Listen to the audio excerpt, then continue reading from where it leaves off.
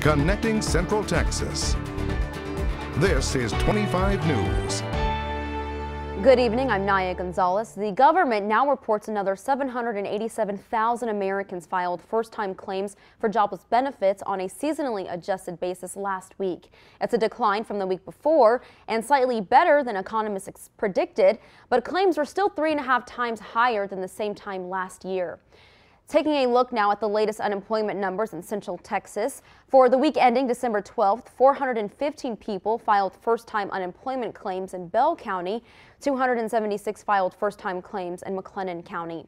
In the meantime, Governor Greg Abbott says the Texas Health and Human Services Commission will provide approximately $204 million in SNAP food benefits for the month of January. Recipients will also see an additional 15% increase in their total benefits in January due to recently passed federal legislation.